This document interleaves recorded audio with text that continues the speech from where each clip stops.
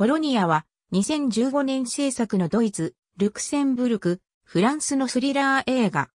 チリクーデターの際の実話を元にした作品で、ピノチェと軍事独裁政権下で、ナチスの残党パウル・シェーファーと結びついた拷問施設、コロニア・ディグニダの実態を描いた。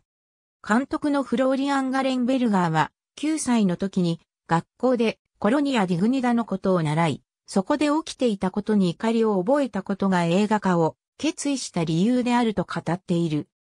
1973年、ルフトハンザ航空の客室乗務員のレナはフライトでチリにやってきたが、折しも軍事クーデターが勃発、恋人でジャーナリストのダニエルが反体制分子として捉えられてしまう。